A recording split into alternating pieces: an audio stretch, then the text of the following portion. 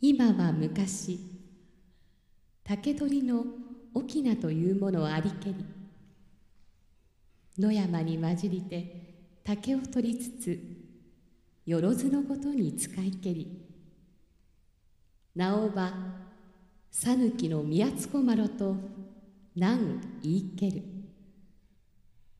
その竹の中に元光る竹なん一筋ありける。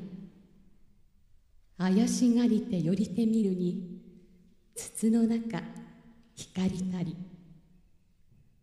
それを見れば三寸ばかりなる人糸美しゅうていたり。